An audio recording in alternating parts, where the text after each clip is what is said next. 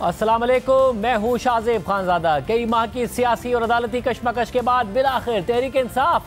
8 सितंबर को इस्लामाबाद में जलसा करने में कामयाब हो गई, लेकिन इस जलसे के बाद इस्लामाबाद पुलिस ने आज पार्लियामेंट हाउस के बाहर से तहरीक इंसाफ के चेयरमैन, बैरिस्टर गौहर खान, शेर अफजल मरवत, शुएब शाहीन और आमिर डोगर को गिरफ़्तार कर लिया है। पुलिस जराये के मुताबिक शेर अफजल मरवत को कल के जलसे में की जाने वाली कानून की खिलाफ वर्जियों की वजह से गिरफ़्तार किया गया है। इसके अलावा पुलिस जरा ये दावा कर रहे हैं कि चेयरमैन पीटीआई, बैरिस्टर गौहर और कौमी असेंबली में अपोजिशन लीडर उमर अयूब समेत आज़म सवाती, नईम पंजोता, आमिर मुगल, हम्माद अजहर, खालिद खुर्शीद दरताज गुल और कमल चौधब को भी गिरफ़्तार किया जाएगा। जराये के मुताबिक पीटीआई के मुताद रहनुमाओं के खिलाफ पुरम इज्तमा अमन आमा बिल के तहत मुकदमा दर्ज किए गए हैं और बैरिस्टर गौहर, उमर अयूब, जरताज गुल, आमिर मुगल, शुएब शाहीन, शेर अफजल मरवत मुकदमात में नामजद हैं, जबकि सिमाबिया ताहिर और राजा बशारत समेत 28 मकामी रहनुमा भी मुकदमात में नामजद हैं। मुकदमे के मतन के मुताबिक पुलिस ने रूट की खिलाफ वर्जी पर पीटीआई कारकुनों को रोका। कारकुनों की जानब से पत्थरों और डंडों से पुलिस पर हमला किया गया। पुलिस ने शेलिंग की और मौके से सत्रह कारकुनों को गिरफ़्तार किया गया। तराई के मुताबिक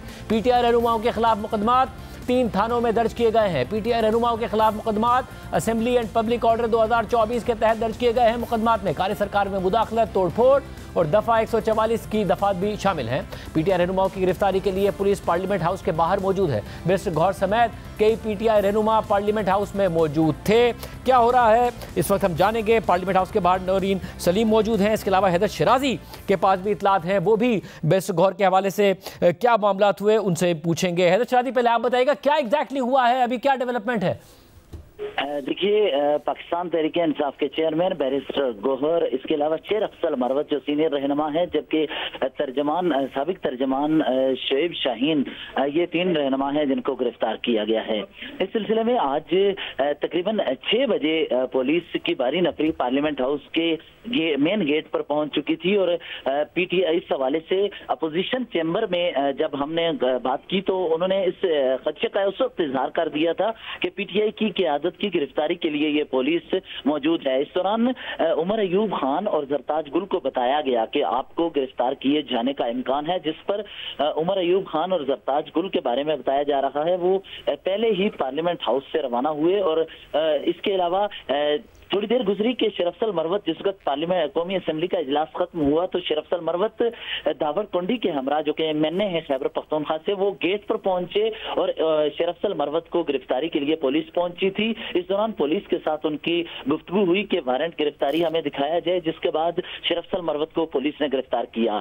तकरीबन ये उसके बाद थोड़ी देर बाद शेब शाहीन के जो ऑफ़िस है, वहाँ से उनके साथियों ने हमें ये आगाह किया कि शुएब शाहीन को भी गिरफ़्तार कर लिया है। उनकी गिरफ्तारी के बाद बैरिस्टर गोहर जो पार्लियामेंट हाउस के अंदर मौजूद थे, पार्लियामेंट हाउस में उन्होंने अपने साथियों के साथ मुशावरत की। शेख वकास अक्रम साहबजादा हामद रजा और जैन कुरेशी के हमरा वो मौजूद थे। इस दौरान बैरिस्टर गोहर जिस वक्त पार्लियामेंट हाउस में मौजूद थे तो उन्होंने कानूनी टीम को भी बुलाया और मुशावरत की कि ये क्या मामला चल रहे हैं। बैरिस्टर गोहर के इसी दौरान पार्टी की सीनियर क्यादत के साथ रबते हुए और इसके बाद उन्होंने फैसला किया कि अगर मुझे गिरफ़्तार गिरफ़्तार करना ये चाहती है तो मैं खुद बाहर जा रहा हूँ। जिसके बाद उन्होंने पार्टी के तमाम सीनियर अहदेदार बशमूल असद कैसर, उनको कहा कि मैं अगर गिरफ़्तार करते रहे तो मैं बाहर जाता हूँ। पार्लियामेंट की राहदारियों से वो बाहर निकले और पार्लियामेंट के गेट के पर पहुँचे, जहाँ पर पुलिस पहले से मौजूद थी। बैरिस्टर गोहर को वहाँ पुलिस ने गिरफ़्तार किया और वो बैरिस्टर गोहर को गिरफ़्तार करके ले जा चुकी है। इस हवाले से बैरिस्टर गोहर से गिरफ्तारी से कबल और पीटीआई के सीनियर क्यादत से मेरी बात हुई। तो उन्होंने कहा कि अभी तक तक हमें मालूम नहीं है, लेकिन हमें पुलिस के रबतों के बाद ये पता चला है कि तीन मुख्तलिफ़ मुकदमात हैं जिनका ताल्लुक गुजशत रोज के जलसे से है। मैं मैं मैं आपकी तरफ़ आता हूँ, मैं क्योंकि आपने पीटीआई की जो अंदरूनी मामला हैं उस पर भी बात की है कि जो कुछ गड्ढापुर ने कल तकरीर की, उसके बाद क्या क्यादत के अंदर बड़ी तशवीश पहले ही पाई जा रही थी कि कुछ हो सकता है, मैं बात करूँगा, मगर मैं पहले नौरीन सलीम से पूछ लूँ, वो आई विटनेस है कि क्या हो रहा था उस वक्त? नौरीन, क्या हो रहा था? क्या ये रहनुमा एक्सपेक्ट कर रहे थे कि गिरफ्तारियाँ होने जा रही हैं? अचानक हुआ, क्या हुआ? पुलिस क्या कह रही थी रहनुमा क्या कह रहे थे? शाहजेब जब हम लोग पार्लियामेंट जब पार्लियामेंट का इजलास जारी था तो आ, उसके बीच में या तकरीबन कहने अख्ताम तक हम लोगों को बताना अंदर थोड़ी सी मालूम मिलना शुरू हो गई थी कि बाहर गे, गेट नंबर एक के बाहर पुलिस की भारी नफरी मौजूद है ख़वातीन और मर्द पुलिस की भारी नफरी मौजूद है और कुछ पी टी आई रहनुमाओं को गिरफ़्तार किया जाएगा। इसके बाद जब इजलास का अख्ताम हुआ तो तमाम रहनुमा आराम से बाहर निकलना शुरू हुए। हम लोग वहाँ पहुँचे तमाम मीडिया वहाँ मौजूद था हमने देखा पुलिस की भारी नफरी मौजूद थी उनके पास फ्लड लाइट्स थी और वो गाड़ियों को चेक कर रहे थे। वहाँ एक सीनियर सीनियर पुलिस ऑफिसर से मेरी बात हुई। मैंने उनसे पूछा कि आज गिरफ़्तार कर रहे हैं? कह रहे हैं मैंने कहा कितने लोगों को गिरफ़्तार करना है? आपके पास कितनों की लिस्ट है? उन्होंने कहा मेरे पास चार लोगों की लिस्ट है जो पी टी आई के रहनुमा हैं। इसके बाद हमने पूछा वही उनसे तफसील पूछी। तो, तो थोड़ी देर बाद शेर अफजल मरवत की गाड़ी आई। इसके इसके इस दौरान पीटीआई के दीगर रहनुमा आराम आराम से जाते रहे। पुलिस ने उन्हें कुछ नहीं कहा, जिसमें अली मोहम्मद खान शामिल हैं, आमिर डोगर शामिल हैं। वो लोग इसमें उनकी लिस्ट में शामिल नहीं थे, लेकिन जब शेर अफजल मरवत आए तो पुलिस एकदम उनकी तरफ़ दौड़ी और उनकी गाड़ी को घेरे में ले लिया और इसी मजामत के बाद उनको गिरफ़्तार कर लिया। इस लिस्ट में जरताज गुल भी शामिल थी लेकिन वो अभी तक गिरफ़्तार शायद नहीं हो सकें। जी। मैं और हैदर, आप ये बताएगा कि इस वक्त जैसे ये बता रही है कि अचानक ये किस तरीके से मामला हुआ, पार्लियामेंट को कवर कर रही थी, फिर लोग निकले, गिरफ़्तार हुए। आपकी जब आज क्यादत से बात हो रही थी, कल जो गड्डापुर साहब की तकरीर थी उसके बाद क्या लोग ये एक्सपेक्ट कर रहे थे क्यादत में कि हमारे ऊपर एक नए क्रैकडाउन का सिलसिला शुरू हो जाएगा? जी, बिल्कुल। ये जिस वक्त अली अमीन गंडापुर ने तकरीर की उस तकरीर के तीन मुख्तलिफ़ हिस्से थे। एक मिलिट्री एस्टेब्लिशमेंट के हवाले से, दूसरा सियासी जमातों के हवाले से तीसरा सहाफ़ियों के हवाले से। इन तीनों मामला पर आज पी टी आई की सीनियर क्यादत बशमूल बैरिस्टर गोहर और इसके अलावा तमाम रहनमा और सिर्फ़ यही नहीं, अपोजिशन इताद के जमातों से भी मेरी बात हुई है। इस हवाले से उन्होंने कहा कि गुजशत रोज जो अली अमीन गंडापुर ने तकरीर तकरीर की, वो सदारती खुतबा नहीं था उन्होंने पार्टी पॉलिसी बयान करनी थी, उन्होंने बहुत सख्त तकरीर की है और ये तकरीर नहीं होनी चाहिए। आज मैं आपको एक और बात बताऊँ, आज पार्लिमानी पार्टी का इजलास हुआ, जिसके बाद बैरिस्टर घोर के हमरा साथी मौजूद थे। उन्होंने इस अली अमीन गंडापुर की तकरीर का ज़िक्र करते हुए कहा कि ये तकरीर क्या आपसे मशवरा किया गया या पार्टी की आदत से मशवरा किया गया? अली अमीन गंडापुर ने जो गुफ्तु की तो बैरिस्टर गौर की जानब से हमारे जरा ये बता रहे हैं कि उन्होंने कहा कि मुझसे किसी किस्म की कोई इस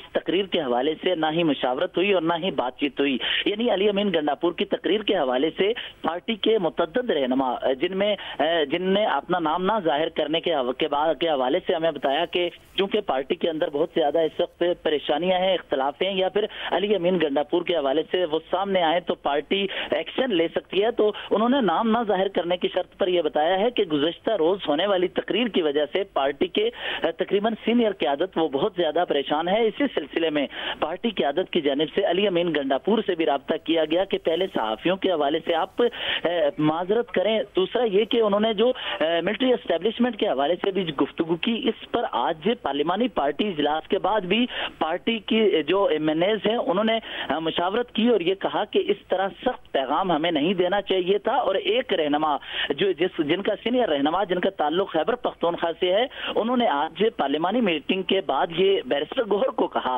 कि अली अमीन गंडापुर ने जिस तरह दो हफ़्ते की डेडलाइन देकर कहा है कि खान को अगर ना निकाला तो मैं खुद निकल, निकालूँगा। तो इसके बाद हम मीडिया पर जवाब नहीं दे सकते कि इस हवाले से हमारी हमत अमली क्या है, ना ही हमें कोई हमत अमली बताई गई। इसके इसके अलावा हमें बगैर मशावरत के ये सब कुछ हुआ। और एक और बात, जो, जिसका ताल्लुक अली अमीन गंडापुर और सीनियर क्यादत के आइंदा के जलसों से है, बताया यह जा रहा है कि अली अमीन गंडापुर के हवाले से आइंदा इस तरह सदारती मामला या अहम मामला अली अमीन गंडापुर के हवाले नहीं किए जाएँगे। इस हवाले से सीनियर रहनमा ने आज जियो न्यूज़ से या मुझसे पार्लियामेंट हाउस की राहदारियों में गुफ्तु करते हुए वाजे किया कि अली अमीन गंडापुर ने गुजशत रोज जो गुफ्तगु की, उसके नतज पार्टी पर या हम पर आ सकते हैं। इस वजह से हम चाहते हैं कि आइंदा किसी जलसे या जुलूस में उनके हवाले से मशवरा पहले हो और फिर उसके बाद इजाज़त दीजिए और महदूद तकारीर हो। जी। मैं, अब जो भी डेवलपमेंट होती है, आप दोनों से इस हवाले से मजीद हम मालूम करेंगे, क्योंकि ये बात सामने आ रही है कि पुलिस का मजीद गिरफ्तारियों का इरादा है। हम आप दोनों से दोबारा भी बात करेंगे। जैसे कोई नई डेवलपमेंट होती है क्योंकि गुजशत रोज़ वफाकी दारकूमत में, हुकूमती रुकावटों के बावजूद तहरीक इंसाफ ने जलसा किया। लेकिन इस जलसे में वजी अला खैबर पख्तूनखा अमीन गंडापुर की तकरीर के बाद ये सवाल पैदा हो गया है कि इस जलसे और ख़ास तौर पर अली अमीन गंडापुर की तकरीर का तहरीक इंसाफ को सियासी फ़ायदा हुआ है या नुकसान हुआ है? और उसके बाद अब खुद हैदर शराजी बता रहे थे कि पार्टी के अंदर ये इस वक्त बहुत ज़्यादा तहफात पाए जाते हैं। जिस तरीके से उन्होंने बात की, जिस तरीके से उन्होंने साफियों पर तनकीद की, उसकी तो पार्टी माजरत भी करती नज़र आई है। पार्टी के दीगर रहनुमा माजरत करते नज़र आए हैं। मगर दो हफ़्ते के अंदर अंदर इमरान खान को रिहा कराने की बात हो इस्टेब्लिशमेंट पर जो बर रास्त तनकीद की गई, वो अब हैदर शराजी बता रहे हैं कि पार्टी के अंदर इस हवाले से तहफात पाए जाते हैं। इस हवाले से इमरान खान ने भी रद्द अमल दिया। आज आज अडियाला जेल में इमरान खान ने साफियों से गुफ्तु करते हुए कहा कि 22 अगस्त का जलसा इस्टेब्लिशमेंट की दरख्वास्त पर मैंने मुलतवी किया था। इमरान खान ने मजीद कहा कि आज़म सवाती सुबह सात बजे मेरे पास आए और कहा कि इस्टेब्लिशमेंट ने भेजा है। आज़म सवाती ने मुझे पैगाम दिया कि इस्टेब्लिशमेंट ने दरख्वास्त की है कि मुल्क की खातिर जलसा मुलतवी कर दें। इस्टेब्लिशमेंट ने जमानत दी थी कि आठ सितंबर के जलसे में मुकम्मल सहूलत फराम करेंगे इसी पैगाम पर। पाकिस्तान की खातिर। 22 अगस्त का जलसा मैंने मुलतवी किया। पैगाम दिया गया था कि एक जानब क्रिकेट मैच है। दूसरी जानब मजहबी जमातों का इस्लामाबाद में एहतजाज है। मुल्क में इंतशार फैल सकता है। अली अमीन गंडापुर की जानब से जलसे में सहाफ़ियों के खिलाफ नामुनासिब जबान इस्तेमाल करने पर सहाफ़ियों ने इमरान खान के सामने एहतजाज किया और कहा कि अली अमीन गंडापुर ने सहाफ़ियों को धमकियाँ दी, नामुनासिब जबान इस्तेमाल की। तो इस पर इमरान खान ने कहा कि मुझे नहीं पता कि अली अमीन गंडापुर ने क्या कहा है। मैं तो जेल में हूँ। सहाफ़ी ने इस पर कहा कि आपको सारी चीज़ों का इल्म होता है। सहाफ़ियों को गालियाँ पढ़ने का आपको इल्म नहीं है। लेकिन इमरान खान ने फिर यही कहा कि मैं जेल में हूँ, मुझे नहीं मालूम कि बाहर क्या हो रहा है। इस पूरी सूरत हाल पर हम शबी डार से पूछेंगे कि इमरान खान से उनकी क्या बात हुई। इसके अलावा मुनीफ फारूक और शहजाद इकबाल हमारे साथ मौजूद होंगे और उनसे पूछेंगे कि जो गिरफ्तारियाँ हो रही हैं, इसका क्या मामला है? पहले हम मुनीफ फारूक और शहजाद इकबाल की तरफ़ चलते हैं। फिर शब्बी डार से हम पूछेंगे आज इमरान खान की बॉडी लैंग्वेज के बारे में और वो क्या इस हवाले से कह रहे थे। मुनीफ फारूक, पहले आप बताइएगा, क्या ये अचानक एक क्रैकडाउन शुरू हुआ है? हमें हमारे नुमाइंदे बता रहे हैं कि पार्टी के अंदर ये तहफात थे कि कल जो कुछ बोला है गंडापुर साहब ने, उसके बाद उसके कॉन्सिक्वेंसेज हो सकते हैं, मगर ये गिरफ्तारियाँ क्या ये एक और, एक ऐसा वाक्य नाइन मई के बाद जो क्रैकडाउन शुरू हुआ था, वैसा क्रैकडाउन का सामना करना पड़ सकता है पार्टी को? बहुत शुक्रिया शाहजेब साहब। देखिए, कल जो खास तौर पर तकारीर की गई, एक तो खालिद खुर्शीद के जानब से और ख़ास तौर पर जो अली मीन गंडापुर साहब की जानब से उसके बाद बड़ा ब्लो बैक आया है और जो वीडियो बयान चलाया गया मुराद सईद साहब का जिसमें बगैर नाम लिए डायरेक्ट हद उसका बनाया गया, पाकिस्तान के आर्मी चीफ को। उसका बड़ा स्ट्रॉन्ग रिएक्शन आया है।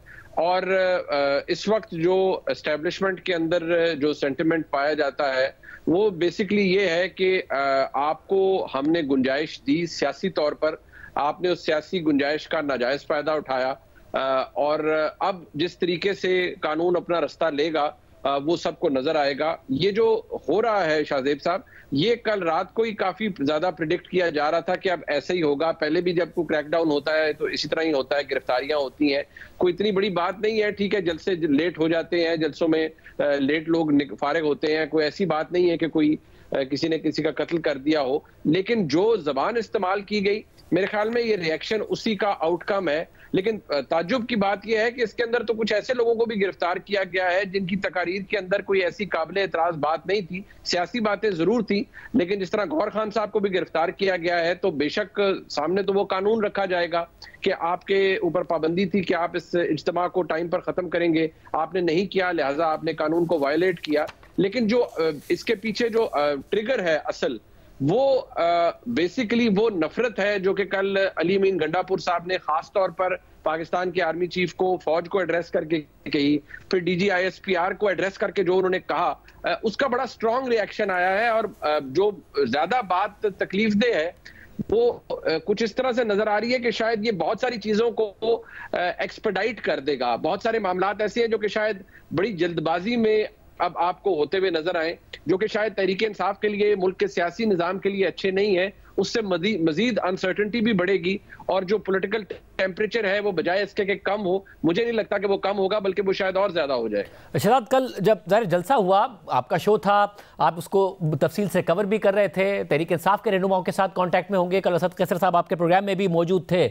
क्या ये तो कर रही थी तहरीक इंसाफ के जो कर गए गंडापुर साहब, उसके कॉन्सिक्वेंसेज अब पार्टी को भुगतने पड़ेंगे या ओवर रिएक्शन है ये? जितनी तेज़ी से गिरफ्तारी हुई है, जहर बैरिस्टर गौर तो एक सेन वॉइस समझे जाते हैं। जैसा मुरीब ने कहा, बहुत सारे ऐसे लोग जिन्होंने पॉलिटिकल बात की थी, वो भी गिरफ़्तार हो गए।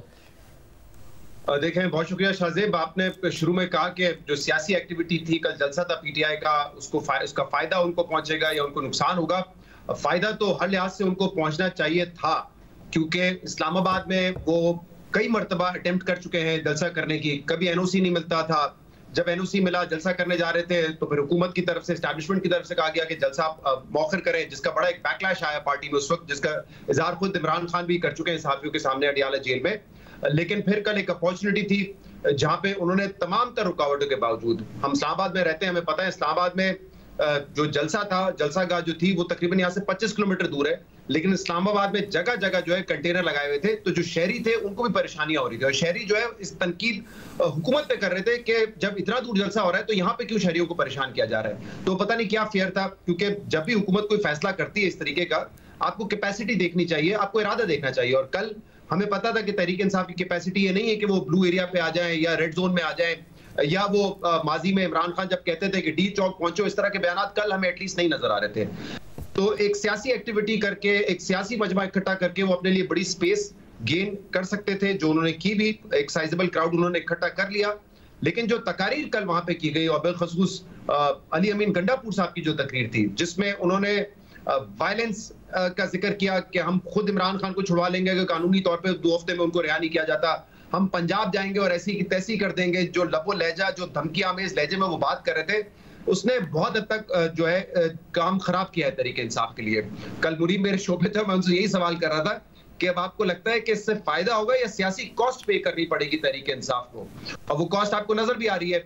आ, अली अमीन गंडापुर ने ना सिर्फ़ आ, फौज के हवाले से बात की जो तर्क देखिए एक एक तनकीद होती है ना शाजिब जो आप और हम बैठ के यहाँ पे करते हैं एक असूली बात है एक आईनी बात है कि हर इदारे को इंक्लूडिंग फौज अपने दायरे कार में रहे सियासत में ना दखल अंदाजी करें ये बात करने पे कोई हर्ज नहीं है। लेकिन जब आप उससे आगे जाके एक धमकी आम इस लहजे में बात करते कि नहीं, अगर तुमने अपना इदारा ठीक नहीं किया तो मैं तुम्हारा इदारा ठीक करूँगा। तो फिर उसके उसके रिपोर्टेशन होते हैं जो आज हम देख रहे हैं। मतलब ये ये एक एक बड़ी अहम बात है कि ये फिर सस्टेन भी कर पाएगा या नहीं कर पाएगा। मैं आप आप दोनों का और तफसीली तजिया इस पर मालूम करूँगा और जो इन्फॉर्मेशन आपके पास है शब्बीर डार से हम पूछते हैं। ज़ाहिर है आज इमरान खान साहब ने बात की सहाफ़ियों से शब्बीर। जो सवाल जवाब लग रहा है कि वो अनजान बन गया कि उन्हें नहीं पता था कि गंडापुर साहब ने क्या कहा है मगर सहाफ़ियों ने फिर भी इंसिस्ट किया। वैसे तो सूरी तौर पर जेल में वो कह रहे हैं कि उन्हें नहीं पता तो नहीं पता मगर आप लोगों ने इंसिस्ट किया आपको सब पता होता है। और इस बात का नहीं पता। तो इमरान खान साहब का तो अपना स्टाइल ऐसा है कि वो बर रास्त तनकीद करते हैं मीडिया पर भी तनकीद करते हैं तो वो खुश थे। आज जो कुछ कल हुआ, या थोड़ा परेशान थे। आ, नहीं परेशान तो नहीं थे वो। अलबत् सहाफ़ियों ने इस बात पर एहतजाज रिकॉर्ड करा है कि गुजशत रोज़ जो अलीमीन गंडापुर ने जलसे में जो ज़ुबान इस्तेमाल की है और जो धमकियाँ दी हैं उससे मतलब इमरान खान को बताया गया कि अलीमीन गंडापुर ने सहाफ़ियों को धमकी दी है और बड़ी बाजारी ज़ुबान इस्तेमाल की है। इस पर आप क्या कहेंगे? उन्होंने कहा कि मुझे नहीं पता अलीमीन गंडापुर ने क्या कहा है मैं तो जेल में हूँ। इस पर सहाफ़ी ने उनसे सवाल किया कि आपको तो सारी चीज़ें पता होती हैं, आपको अपने वकला बताते हैं, पार्टी रहनमा बताते हैं तो आपको ये कैसे नहीं पता है कि सहाफ़ियों को गालियाँ दी गई हैं, धमकियाँ दी गई हैं?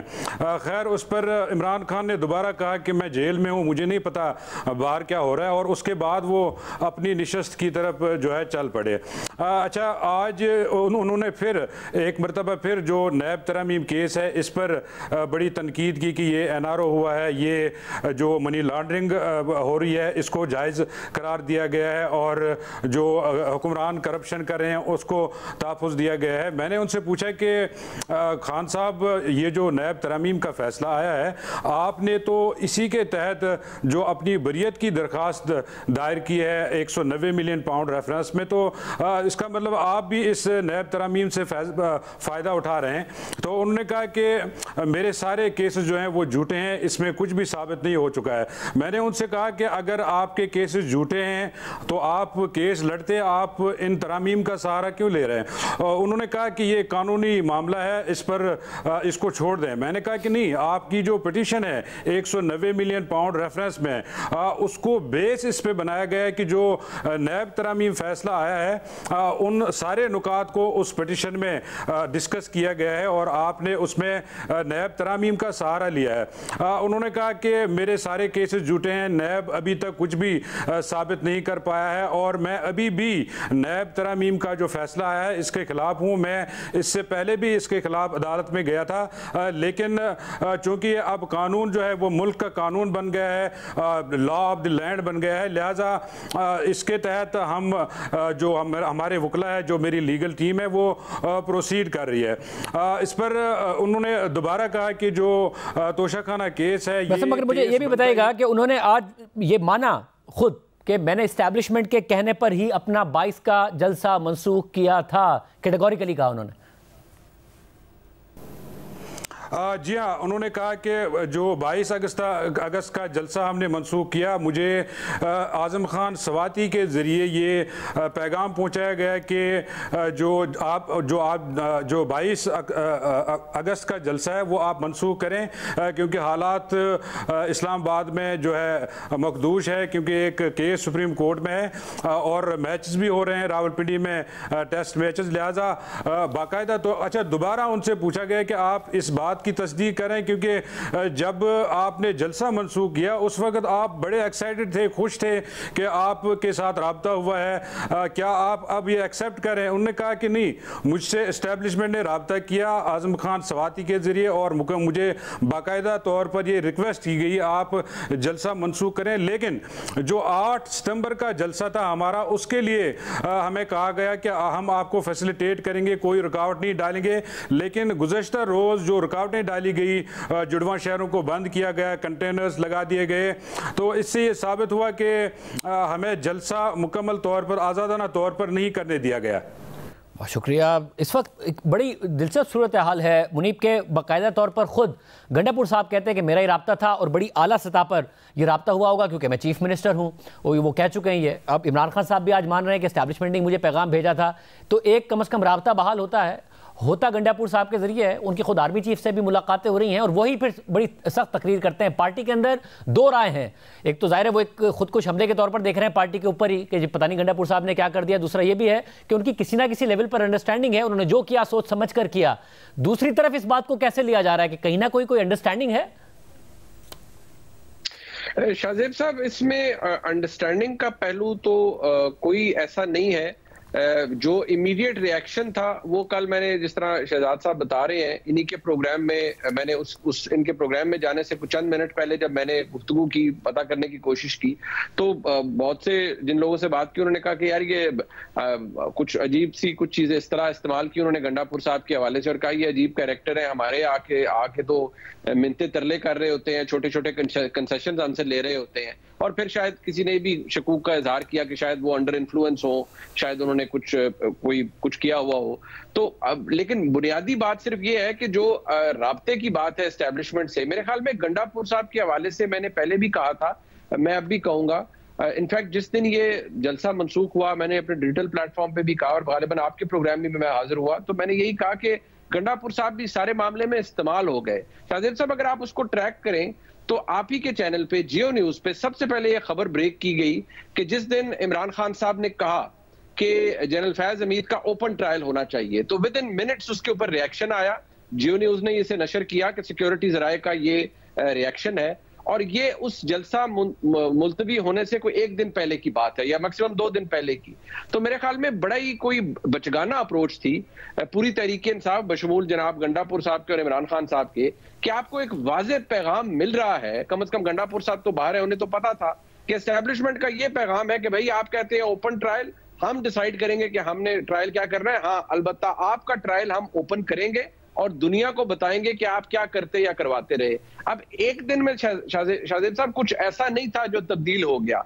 और आप यकीन मानिए जो पूरी एक्सरसाइज की गई मैंने आ, मैंने उस दिन भी अर्ज़ किया था चंद बड़े जिम्मेदार सिविल अफसरान ने मुझसे इनफैक्ट बहुत सारी चीज़ें शेयर की कि जी ये फलाना फलाना बंदा ये आप मैसेज पढ़ लीजिए ये हमारे से रास्ते में था। और ये जी। जी जी, मैं मैं मैं आपकी तरफ़ दोबारा आता हूँ। शराब से भी मौका लेता हूँ। बैरिस्टर सैफ साहब हमारे साथ मौजूद हैं। खैबर पख्तूनख्वा हुकूमत के तर्जुमान हैं। हमारे साथ मौजूद हैं। बैरिस्टर सैफ साहब, बहुत शुक्रिया। कल का जलसा और अब इस्लामाबाद से बहुत तेज़ी से गिरफ्तारियाँ तहरीक इंसाफ के रहनुमाओं की शुरू हो गई हैं। अब ज़ाहिर वजूहत तो ये बताई जा रही हैं कि जो पासदारी थी वो नहीं की गई एस ओ पीज़ की। इसके अलावा पुलिस के साथ आमना सामना हुआ। मगर खुद जो पार्टी के ज़राए हैं या फिर जो दूसरी तरफ़ से ज़राए हैं, वो यही बता रहे हैं कि जो कल की तकरीर थी गंडापुर साहब की, उसका कॉन्सिक्वेंस है। कैसे देख रहे हैं आप? देखें शाहजेब बहुत वाजे सी बात है कि तकरीर में अगर कोई ऐसी बात की गई है जो काबिल एतराज़ हो तो उसके लिए अपना एक कानून मौजूद है। वो कानून आप एक्टिवेट करें, तकरीर के इकतबासात पेश करें, अदालत फैसला करेगी और अदालत जो भी सजा दे वो वो सबको कबूल होता है, इसका कानून मौजूद है। इन्होंने जो कुछ भी किया ना एस ना ना एस ओ पीज की कोई ऐसी खिलाफ वर्जी हुई अगर कोई हुई भी है तो वो खिलाफ वर्जी इन्होंने खुद करवाई है क्योंकि इन्होंने वो तमाम रास्ते बंद कर दिए थे जो रास्ते जलसगा की तरफ़ जाते हैं लोग जा ही नहीं सके और रो, रोड जो है वो चौक हो गई थी रास्ते चौक हो गए थे लोग जो जलसे में थे वो बाहर नहीं निकल सके जो बाहर थे वो अंदर नहीं आ सके अब अगर उसकी वजह से ताखिर हुई है इनकी अपनी हरकत की वजह से क्योंकि ये चाहते ये थे हुकूमत की ये ख्वाहिश थी कि किसी तरह से भी जिस तरह से भी मुमकिन हो जलसे को नाकाम बनाया जाए और ऐसे इकदाम किए जाए ताकि कल हम उन पर पर्चे दर्ज कर सकें, मुकदमे दर्ज कर सकें, जो इनको एक जवाब मिल गया और इन्होंने ये कर दिखाया। लेकिन इतने सीनियर लेवल के पार्लियामेंटेरियंस को पार्लियामेंट हाउस के गेट से गिरफ़्तार करना और यूँ जाल बिछाना जैसे कहीं आदि मुजरिम कोई बहुत बड़े दहशत गर्द जो है वो पार्लियामेंट हाउस में पना लिए हुए हैं और ये बहादुर पुलिस जो है हमारी उनको गिरफ़्तार करने के लिए बाहर बैठी हुई है। इस तरह की हरकतें मेरे ख्याल में पीटीआई को तो नहीं क्रश कर सकती अलबत् इस मुल्क की जमहूरियत को नाकाबिल तलाफी नुकसान ज़रूर पहुंचाएँगी। इस मुल्क का निज़ाम ज़रूर मजरू होगा कि एक तरफ़ एक तरफ़ तो एक काले कानून को पास करने के लिए प्राइम मिनिस्टर साहब ने, सदर साहब ने तमाम अपनी इतिहादी जुमातों को डिनर पे बुलाया हुआ है। वहाँ पर यह तैयारी हो रही है कि पार्लियामेंट हाउस में हमने कवानीन पास करने हैं। काले कवानीन शर्मनाक कवानीन जबकि दूसरी तरफ़ पीटीआई के लीडरान को गिरफ़्तार पार्लियामेंट हाउस से किया जा रहा है ताकि एक तो पार्टी की तरफ़ से रेजिस्टेंस और मुजामत ना हो कानून साजी में और दूसरी तरफ़ जो है बदले भी चुकाए जा सके। साहब मुझे मुझे ये भी बताएगा कि आपका कल की तकरीर के बाद क्योंकि ज़ाहिर क्राउड था जलसा हुआ कुछ आमने सामने भी हो गए क्या आपका खुद रबता हुआ गड्ढापुर साहब से? आपकी बात हुई? क्या उन्हें था कि कुछ ज़्यादा हो गया ज़्यादा कर गए वो कल की तकरीर में या वो ठीक थे कि हाँ जी जो बोला ठीक बोला मैंने? नहीं देखें गंडापुर साहब का अपना एक मौके था उनका उस, उसने उनका उसका इजहार किया है और मैं ये समझता हूँ कि गंडापुर साहब को ने अगर कोई गलत बात की है तो वो बात जो है उसके लिए कानून मौजूद है ना जैसे मैंने कहा तकारीर इश्तेहाल अंगेज तकारीर का अपना एक कानून है। वो वो वो कल से नहीं बना वो पहले से बना हुआ है। तो आप ले आए उसको उसको उसके ज़रिए उनके खिलाफ पर्चा करें अगर आपके पास कोई सबूत है कि उन्होंने गलत बात की है। लेकिन अगर नहीं की तो एक जवाब बना के कि कुछ जो है उनके अल्फाज को बुनियाद बनाकर पूरी पार्टी के खिलाफ क्रैक डाउन करना एक मुंतब वज़ीर आला को जो लाखों लोगों के वोट लेकर मुंतब हुआ है उसके हवाले से अभी तक खबरें आ रही हैं उनको गिरफ़्तार करने की कोशिशें की जा रही है। इस्लामाबाद पुलिस की टीम तश्कील दी गई है। इस तरह की हरकतें करना तो मैं समझता हूँ कि खुद ही अपने जमहूरी निज़ाम पे जो है गोलियाँ चलाने के मुतरद है सियासी इस वक्त इस वक्त कहाँ है गणपुर साहब? जी देखें गंडापुर साहब से मैं रबते करने की कोशिश कर रहा हूँ, उनसे रबता नहीं हो पा रहा। उनका फ़ोन भी बंद है, उनके जो करीबी स्टाफ है, उनके फ़ोन भी नहीं मिल रहे। तो यकीनन उनको और इस्लामाबाद पुलिस की तरफ़ से ये बात आ रही है कि वो गिरफ़्तार करने के लिए उन्होंने स्पेशल जो है, वो दस्ते तश्कील दिए तो ये कभी हुआ है यार पाकिस्तान की तारीख में एक इलेक्टेड वज़ीर अला को आप इस्लामाबाद से गिरफ़्तार करें? मतलब ये तो बिल्कुल इंतहा कर दी है इन लोगों ने। और मेरा ये ख्याल है कि ये सब कुछ इनको ले डूबेगा। बस सिर्फ़ दुख इस बात का होता है कि मुल्क का निज़ाम जो है वो भी साथ जो है वो मजरू हो रहा है। उन्होंने दो हफ़्ते की डेडलाइन दी। क्या एग्जैक्टली प्लान है? दो हफ़्ते में अगर नहीं रिहा होते, इमरान खान साहब कैसे उन्हें रिहा कराएँगे वो? देखें दो हफ़्ते की डेडलाइन जो है, वो बिल्कुल दी है, उन्होंने तकरीर में दी है, लेकिन पार्टी का अपना भी एक फैसला, ये तो उनका अपना एक ऐलान था, पार्टी का अपना फैसला भी होगा। यकीनन इमरान खान साहब की रिहाई के लिए हम हर मुमकिन कोशिश कर रहे हैं। अदालती जंग जारी है, सियासी जंग जारी है, सब कुछ हो रहा है। इसलिए रिहा हो जाएँगे। देखें, ये डेडलाइंस वगैरह की सियासत कभी भी मैं इसके हक में नहीं होता। मैं समझता हूँ सियासत में फ्लेक्सीबल फ्लेक्सीबल होना चाहिए, लेकिन बारह बार सूरत अभी तो सूरत हाल डेडलाइन को छोड़ें, अब तो जो हो रहा है वो वो उसको देखें कि हमारे इलेक्टेड एम को पार्लियामेंट हाउस के गेट से गिरफ़्तार किया जा रहा है बैरिस्टर गौर गिरफ़्तार है उमर अयूब गिरफ़्तार है शेर अब्दुल मरवत गिरफ़्तार है मतलब क्या हो रहा है? क्या ये जमहूरियत होती है? क्या एक न्यूक्लियर स्टेट जो कि पाकि दुनिया की सबसे बड़ी इस्लामी ताकत है, उसके साथ क्या इस तरह की निज़ाम के तहत क्या कोई मुल्क चलते हैं? तो ये शर्मनाक हरकतें जब आप बददियानत लोगों को इलेक्शन कमीशन की मिली भगत के साथ ला के बिठाएँगे ऐवानों में। तो ऐसी फैसले पे होते हैं अब ये ऐसे ही फैसले हो रहे हैं। वैसे मगर मुझे इतना बताएगा कि गंडापुर साहब इस्लामाबाद में थे या पिशावर चले गए थे? देखें मेरी उनके साथ बात हुई थी तकरीबन तीन बजे। वो उस वक्त उन्होंने मुझे बताया कि मैं इस्लामाबाद जाऊँगा क्योंकि मैंने इस्लामाबाद में एक मीटिंग में शिरकत करनी है उसके बाद मैं वापस आऊँगा। और कल सुबह दस बजे से ऑनवर्ड्स उनकी उनका शेड्यूल जो है जारी हो चुका था मीटिंग्स का। तो के पेशावर में। लेकिन उसके बाद उनसे रहा कट गया और शाम के बाद पाँच छह बजे के बाद उनसे कोई कांटेक्ट नहीं हो पा रहा। तो और सर ये भी ठीक बिल्कुल होप के वो खैरियत से हो। ये भी बताएगा कि कल के बाद क्योंकि पार्टी के मुख्तलिफ़ रहनुमाओं ने ज़रा से ज़ाहिर खबरें सामने आती रही कि उन्हें अब ये कंसर्न पैदा हो गया कि बहुत लिमिट्स क्रॉस कर गए। गंडापुर साहब और पार्टी पर दोबारा सख्त टाइम आएगा। हालाँकि हमारी कहीं ना कहीं ब्रिजेस बने थे। खुद गंडापुर साहब से स्टैब्लिशमेंट का रबता था। बाईस का जलसा मनसूख हुआ। आठ को आप लोगों ने ज़रा कर लिया। रुकावटें ज़रूर डाली गई कि वो सारे ब्रिजेस बर्न हो गए। आपको ये एहसास खुद गंडापुर साहब को था या आप समझते हैं कि ज़्यादा हो गया कल जो पार्टी के अंदर एहसास है? मैं नहीं समझता कि कोई बात जो है वो दरवाजे बंद हो जाते हैं या ब्रिजेस जो हैं वो जल जाते हैं कोई पुल नहीं जले। हम अभी तक इसी हुकूमत का इसी मुल्क का इसी रियासत की हम के हम शहरी हैं और हम समझते हैं कि रियासती इदारों के साथ दरवाजे खुले ही रह, रहते हैं। अगर किसी वक्त कोई गलत फहमी या कोई तलखी पैदा हो भी जाए तो वो कोई हतमी और कतई नहीं होती उसके बाद रास्ते खुल जाते हैं। हम आज भी बिल्कुल हर मुस्बत बात के लिए तैयार हैं लेकिन हर मनफी बात से इनकार करेंगे। किसी भी मनफी बात पर किसी भी मनफी मुतालबे पर हम सर नहीं झुकाएँगे। उसूलों की सियासत कर रहे हैं करते रहे हैं। हमारा लीडर आज भी जेल में है क्यों जेल में है? इसलिए कि वो कंप्रोमाइज नहीं कर रहा। वो आ, डील करके सौ बक्सों के साथ जद्दा नहीं भाग रहा। वो भाग कर वहाँ पे जो है वो दस साल खजूरे खाने के लिए नहीं जाना चाह रहा। वो कहता है मैं जेल में रहूँगा बर्दाश्त करूँगा और मुकाबला करूँगा। और वो कर रहा है। तो हमारे लोग मुकाबला कर हमारी तो यासमीन राशिद साहिबा जो सत्तर साल से ज़्यादा जिनकी उम्र है वो भी अस्पताल में पड़ी हुई मुकाबला ही कर रही है। तो हमारे साथ ये बात तो कोई करे ही ना कि हम कोई कंप्रोमाइज करेंगे हम कंप्रोमाइज नहीं करेंगे हम इनशाला जदोजहद करेंगे लेकिन हम जमहूरियत और आइन के दायरे के तहत करेंगे। और मैं नहीं समझता कि गंडापुर साहब की तकरीर को जवाब बनाकर नेशन वाइड क्रैकडाउन का कोई जवाब बनता और है और मुझे ये भी बताएगा कि एग्जैक्टली बहुत सारे रहनुमाओं ने तकरीर की एग्जैक्टली exactly किस बात पर इतना गुस्सा था गड्डापुर साहब को? क्योंकि वो, उनका तो कहीं ना कहीं रबता था, वो चीफ मिनिस्टर हैं और अच्छे लेवल पर उनका रबता था, वो खुद एक इंटरव्यू में कह चुके इतना गुस्सा किस बात का था जो उन्होंने, ज़ाहिर इस्टेब्लिशमेंट पर इतनी बरह रास्त बातें की? देखिए एस्टेब्लिशमेंट पर कोई बात नहीं हुई। बस एक मिस एक बात थी जो उन्होंने दोहराई। मैं समझता हूँ कि वो आपने भी सुनी और पूरे पाकिस्तान ने भी सुनी। मैं तो यही कह रहा हूँ कि उस बात पर अगर एतराज़ है तो उस उस, उस तकरीर पर मुकदमा दर्ज करके आप यकीनन उनका ट्रायल करें उनके खिलाफ कानूनी कार्रवाई करें। लेकिन मैं तो ये बात कर रहा हूँ कि उस, उस तकरीर को जवाब बनाकर ये जो क्रैक डाउन हो रहा है ये ना करें। और देखें शाहजेब आप बार बार उसी की बात कर रहे हैं गंडापुर साहब की तकरीर की कि ये सब कुछ उसके नतीजे में हो रहा है। ये मुझे बताएँ ये जो हुकूमत में बैठे हुए चोर हैं जिन्होंने इकतदार पर दो नंबरी के ज़रिए कब्जा किया हुआ है बदयानती से एस फोर्टी सेवन ये इलेक्शन ट्रिब्यूनल से अपने केसेस क्यों नहीं लेके जा रहे? ये अदालतों के सामने अपने इलेक्शन का मामला क्यों नहीं रखते? ताकि दूध का दूध और पानी का पानी हो जाए पता चले कि कौन जेली मैंडेट के साथ आया है। क्यों आया है? इनका भी पूछे ना, ये हालात अगर खराब हुए हैं, अगर गंडापुर ने जज्बाती तकरीर की है तो इसलिए की है कि ये लोग इकतदार के ऐवानों पर गलत तरीके से, जैली तरीके से काबिज हैं। तो हाथ ताली एक हाथ से नहीं बचती कोई भी पीटीआई में इतना जहनी मरीज़ नहीं है कि वो खाम खा में जारहाना तकारीर करे। लेकिन हालात ऐसे हैं कि हमें हर तरफ़ से जो है दीवार से लगाया जा रहा है। दीवार से लगाने के बाद अगर हम तकरीर भी ना करें तो और हम क्या करें? बहुत शुक्रिया बहुत शुक्रिया। बैसे साहब हमारे साथ मौजूद थे वगैरह दीवार से लगाया जा रहा है उसका रिएक्शन है तकरीर भी ना करें तो हम फिर क्या करें? शराद आप बताइएगा।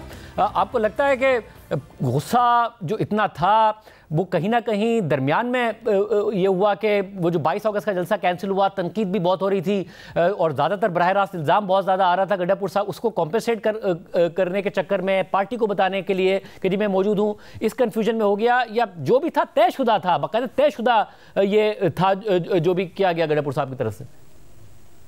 नहीं शाजिब तयशुदा तो इस हद तक नहीं हो सकता। हाँ अगर कोई ऐसा अंडरस्टैंडिंग हो भी, तब भी आप एक छोटी मोटी बात करके निकल जाते हैं। लेकिन हो सकता है ये फ्रस्ट्रेशन हो उनकी, क्योंकि सिर्फ़ पार्टी के अंदर नहीं जो उनके मुखालफिन है, वो तो असेंबली के फ्लोर पे भी कहते हैं कि जब हमारे साथ मीटिंग्स में आते हैं अच्छी अच्छी बातें करते हैं, और फिर जब जलसे में जाते हैं तो तकरीरें करते हैं। यानी कि वो भी एक डाउट क्रिएट करते थे कि शायद इनकी जो सेटिंग है वो हुई हुई है। तो मैं पहले भी यही बात कर रहा था कि देखिए, जो उन्होंने बात की, वो गलत है, नहीं करनी चाहिए थी, उससे सियासी स्पेस कम होगी तरीके इंसाफ के लिए। करना तो यहाँ पे ये चाहिए था, आपको अब इस्लामाबाद में जलसे की इजाज़त मिल गई है, आप लाहौर में इजाज़त लेते और आहिस्ता आहिस्ता अपनी पोलिटिकल एक्टिविटी को बढ़ाते क्योंकि देखिए, दो ही तरीके हैं ना सियासी जमात के पास। बल्कि एक ही तरीका है कि आपने बात करनी है और सियासत के ज़रिए रास्ता निकालना है। आप लड़के तो ये रास्ता नहीं निकाल सकते ना ऑल आउट जाकर। और अगर ऑल आउट जाना है तो फिर आप हुकूमत से हुकूमत से मिन्नत ना करें कि आप एनओसी दे दें एनओसी दे दें। आप अगर एनओसी की जल से कर लें, अगर लड़ाई आपने करनी है तो तो कल एक पॉलिटिकल एक्टिविटी थी और ये बात बिल्कुल दुरुस्त है। कल असद कैसे साहब को जब हमने बताया कि अली अमीन गंडापुर ने ये तकरीर की है तो उन्होंने उस पर तबसरा नहीं किया। उन्होंने कहा, मैंने सुनी नहीं है। मैंने पढ़ के भी बताया कि देखें, ये ये बात की और एक नहीं, दो मरतबा, लेकिन उन्होंने कोई पोजीशन नहीं ली। और जराए बता रहे हैं कि पीटीआई के अपने लोग बता रहे हैं कि कई लोग ये समझते हैं कि एक अपॉर्चुनिटी थी जिससे आप अपनी स्पेस क्रिएट कर सकते थे, उसको आपने लूज किया है। लेकिन जो अभी बैरिस्टर साहब बात कर रहे थे, वो बात बिल्कुल दुरुस्त है। और आपने भी सवाल किया कि क्या हुकूमत ओवर रिएक्ट कर रही है? बिल्कुल ओवर रिएक्ट कर रही है हुकूमत। इस बात को जवाब बना के कि अगर अली अमीन गंडापुर या किसी और ने इंसाइटमेंट टू वायलेंस किया है तो उसके खिलाफ आप कार्रवाई करें। लेकिन उसको जवाब बनाकर, पूरी पार्टी पर क्रैकडाउन करना बैरिस्टर गौर को गिरफ़्तार करना, शेर मरवत को गिरफ़्तार करना, दीगर रहनुमाओं को गिरफ़्तार करना, इसका वाकई कोई जवाब नहीं है। और इससे एक तो देखें, नुकसान तो उल्टा होगा ही बोल का ही हो रहा है ना, अगर तमाम सियासी जमातें इस माहौल में है। लेकिन आप ये भी सोचें ना, फिर अगर आप मजीद इनको पुश करेंगे तो जो हॉक्स है फिर वो सामने आएँगे तरीके इंसाफ के फिर हमारे तरीके का ठीक है, क्योंकि जो तुम में से डिसेंट तकरीर करता है, जिसका लबो जलजा ठीक होता है, जब उसको भी गिरफ़्तार होना है तो बेहतर ये कि तकरीर करके गिरफ़्तार हो जाओ। तो ये हुकूमत जो इस वक्त कर रही है, और इसकी आड़ में कि जलसा सात बजे नहीं खत्म हुआ। शाहजेब आपने, मैंने मुरीन ने मुताद जलसे कवर किए आज तक कोई ऐसी डेडलाइन नहीं होती कि सात बजे लाइटें बंद हो जाएँगी, फलाना हो जाएगा, इसके बाद आप नहीं कर सकते। रूट्स बंद किए हुए थे आपने। आप उनको जलसा करने देते जलसा करके अगर वो बैठ जाते आप भी तनकीद करते हैं हम भी तनकीद कर रहे होते हैं कि धरने की बात तो नहीं भी थी। लेकिन अगर एक आध घंटा ऊपर नीचे हो गया जो कि हो जाता है जलसों में और वो भी हुकूमत उसकी, एक वजह हुकूमत भी है ना उसकी जब आप इतनी बंदिशें लगा देंगे इतनी रुकावटें क्रिएट करेंगे तो उसको जवाब बना करके आप अब गौहर साहब को भी गिरफ़्तार कर ले फला को भी कर दे और इसमें इसके बाद आप एक ऐसा माहौल क्रिएट करेंगे जैसे नौ मई के बाद हुआ था तो मेरे ख्याल से इससे तो हुकूमत का भी लॉन्ग टर्म में नुकसान होगा शायद वक्ती तौर पर कोई फ़ायदा हो जाए। बहुत शुक्रिया, नाजिन, आपने तजिया सुना है। ये बड़ी अहम बात है कि इस एक तकरीर को बुनियाद बनाकर, एक पूरी जमात पर क्रैक डाउन करना, ऐसे रहनुमा जिन्होंने कोई ऐसी इश्तियालंगेज बात भी नहीं की है, फिर कानूनी मामला को इस्तेमाल करना, हालाँकि हुकूमत ने खुद यकीनी बनाया कि इतनी रुकावटें डाली गई कि उससे जलसा भी लेट हुआ, पासदारी नहीं हुई। तो कानून का इस तरीके से इस्तेमाल किया जाए कि एक पूरी जमात पर एक दफ़ा फिर एक क्रैक डाउन शुरू किया जाए, ये हरगिज़ तौर पर नहीं होना चाहिए। ना ही ये नौ मई के बाद इसका कोई फ़ायदा हुआ, जिस तरीके से उन मामला को सियासी मकासद के लिए इस्तेमाल किया गया। प्रोग्राम में ब्रेक शामिल करते हैं, हमारे नुमाइंदे मौजूद हैं और क्या हो रहा है वो आपके साथ, हम आपके सामने तफसीत रखेंगे ब्रेक के बाद।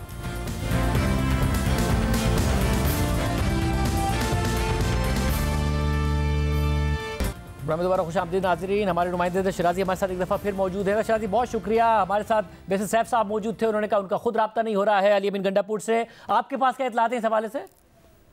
देखिए, इस हवाले से अली अमीन गंडापुर के भाई से हमारा रबता हुआ है और अली अमीन गंडापुर के साथ जो टीम मौजूद होती है, उनसे भी हमारा रबता हुआ है। अली अमीन गंडापुर के भाई फैसल अमीन की जानब से ये वाजे किया गया है कि अली अमीन गंडापुर को कोई गिरफ़्तार नहीं किया गया और ये खबरें फेक हैं। इस हवाले से उन्होंने इस हवाले से इन खबरों की तरदीद की है कि ये उनको किसी किस्म का कोई गिरफ़्तार तो नहीं किया गया, जबकि दूसरी जानब अपोजिशन इतिहाद के मुख्तलिफ़ रहनुमाओं की गिरफ्तारियों की भी बातें चल रही हैं।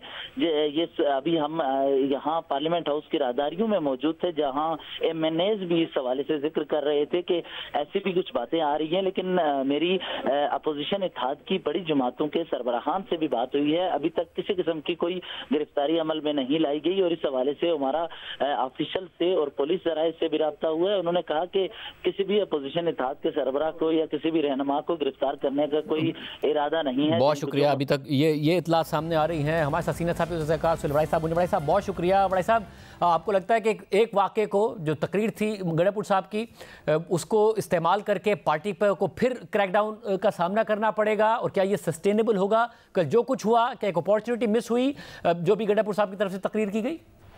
देखिए, एक तो हमें पहले तरीके इंसाफ को समझना होगा कि तरीके इंसाफ का हर लीडर जो है, वो इमरान खान से खौफसदा है। लोग तो ये समझते हैं ना कि उनका रिलेशनशिप अपने लीडर से प्यार का है। मेरा नहीं ख्याल, ये ऐसा है। क्योंकि इमरान खान सबको डांटते हैं और जो कोई उनसे इख्तलाफ करे या उनकी पॉलिसी से हट के चले, उसके साथ वो बड़ी सख्ती से पेश आते हैं। अमीन गंडापुर जब मोहसन नकवी साहब से इनकी पहली मुलाकात हुई, उसके बाद उनको बहुत डांटा गया। और आपको पता है कि ये जिस दिन जलसा पोस्टपोन हुआ है उस दिन खान साहब की बहन अलीमा खान ने उनकी जो क्लास ली और उसके बाद उनकी जो मीम्स बनाई गई कि उसमें उन्होंने वर्दी पहनी हुई है। मिनिस्टर गौहर ने आ, अमीन अली अमीन गंडापुर ने उमर अयूब ने।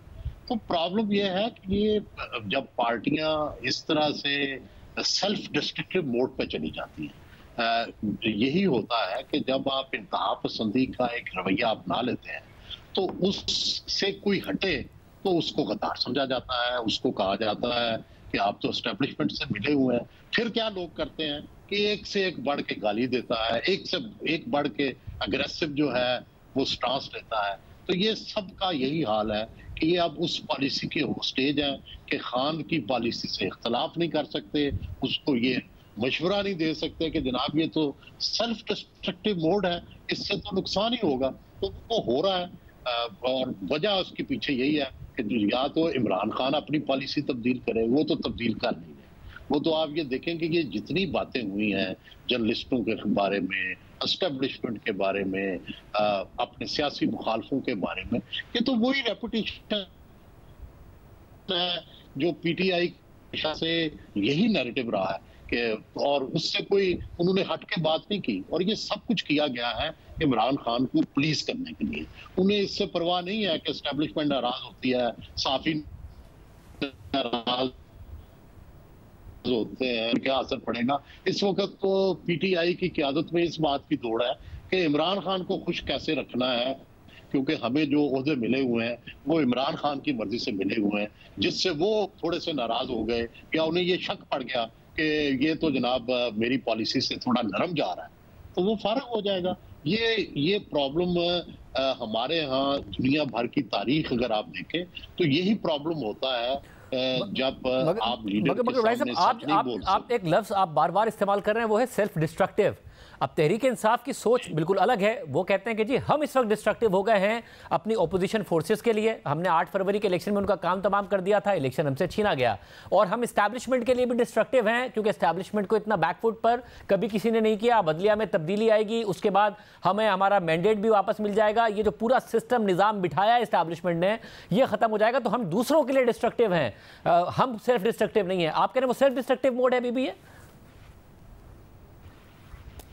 ये नहीं देखें गुजारिश है कि काश उनकी ये बातें दुरुस्त होती और पाकिस्तान में सिर्फ़ जमहूर जो है उसकी आवाज़ पे सब कुछ तब्दीली हो जाती तो फिर तो पीटीआई जो कह रही है वो बिल्कुल दुरुस्त है कि वो एक, वो बड़ी पॉपुलर पार्टी है और वो उसमें सबको तबाह कर दिया। लेकिन पाकिस्तान के हकायक, यहाँ एक हाइब्रिड रजीम है। यहाँ पे मैं शुरू से कहता आ रहा हूँ कि मकबूलियत और कबूलियत का कॉम्बिनेशन है।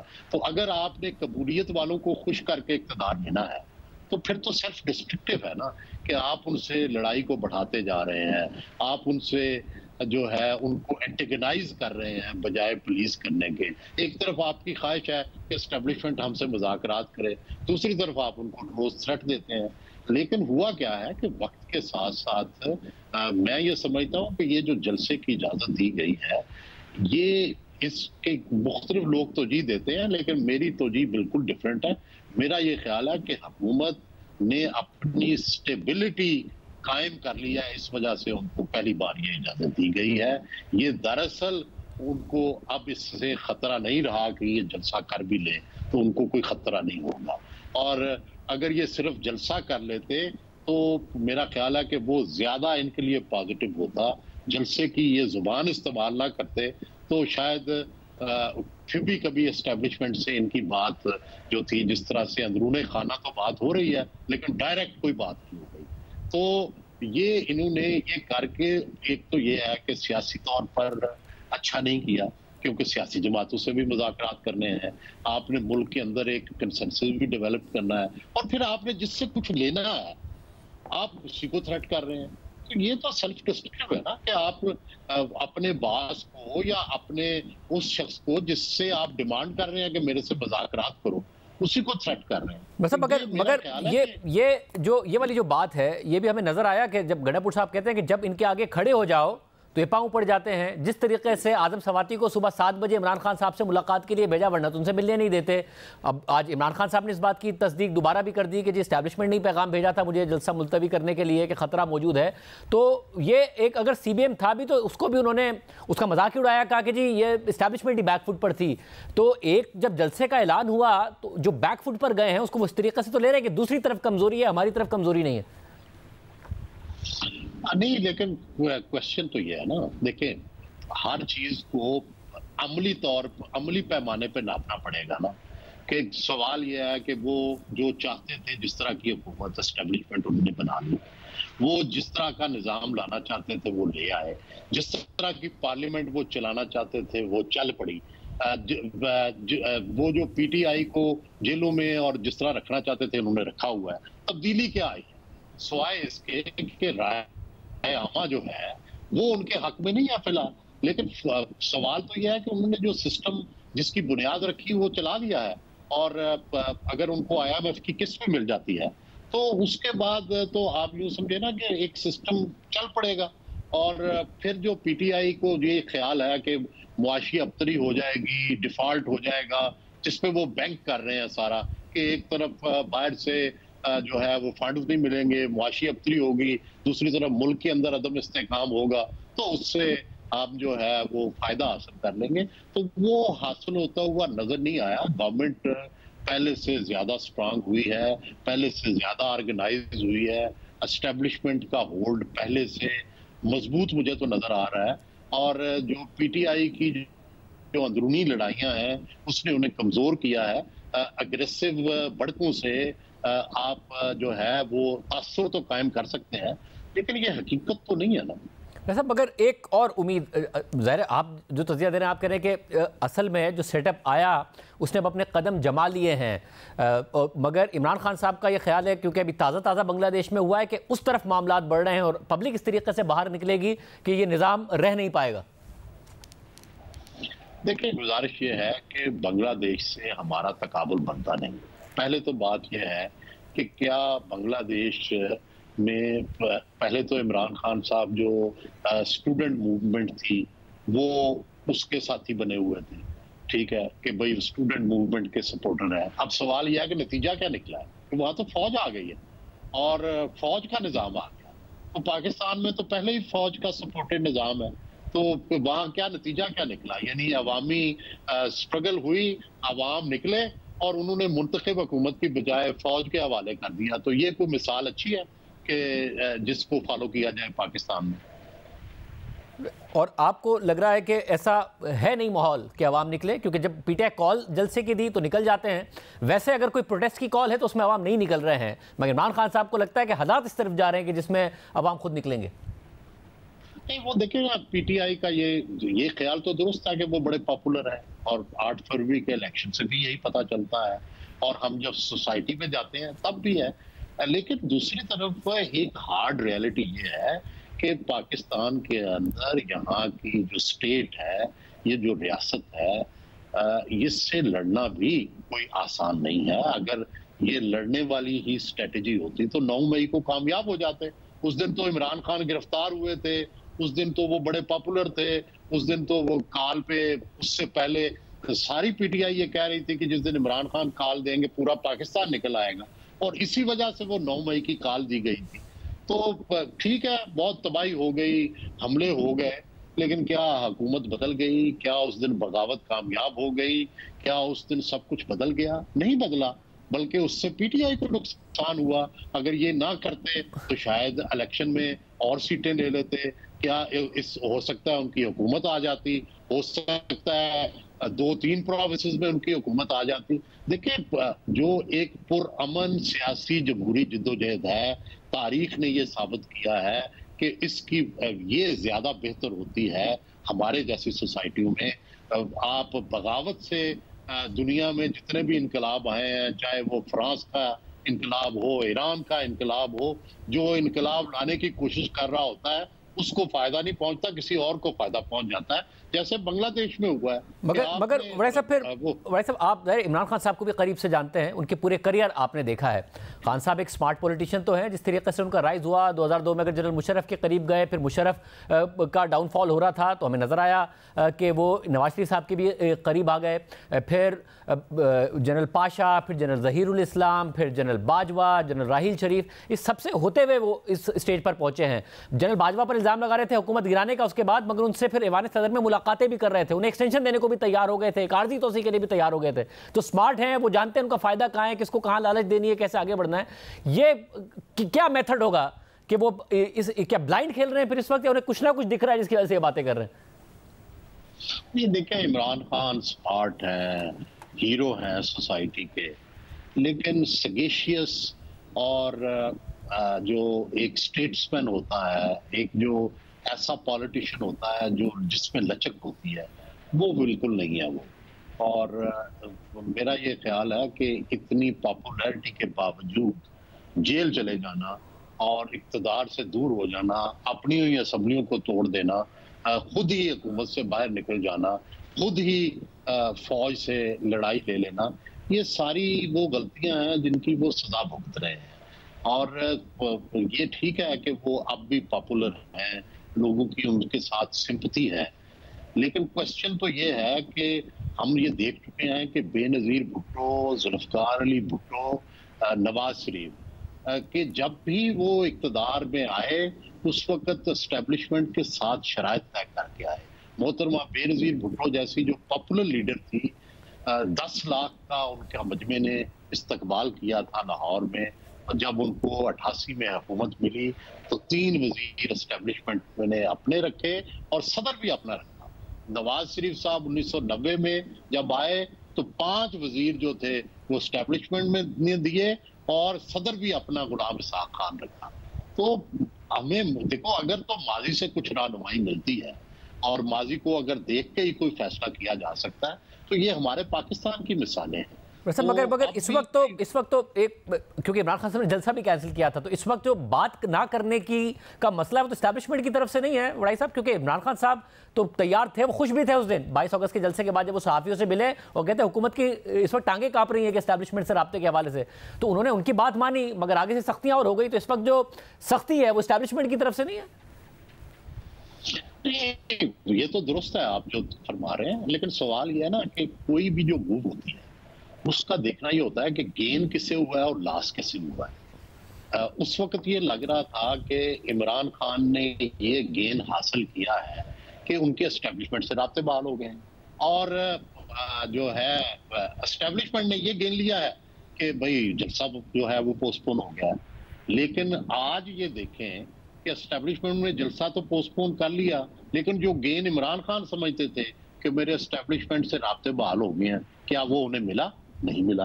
तो फिर इसका मतलब है कि वो तो एक तरफा गेन था स्टैब्लिशमेंट का जिसमें ये धोखे में आ गए। ये जलसा पोस्टपोन जलसा पोस्टपोन करेंगे तो हमारे एस्टेब्लिशमेंट से रवाबत मान हो जाएँगे। वो तो नहीं हुए। और एस्टेब्लिशमेंट के रवैये में तो कोई तब्दीली नहीं आई और सख्तियाँ आ गई है। तो इसलिए फिर ये देखना पड़ता है ना कि जब एक वाक्य गुजर जाता है, उसके नतज क्या निकले। बहुत शुक्रिया, आज के बाद दीजिए। अल्लाह हाफिज़।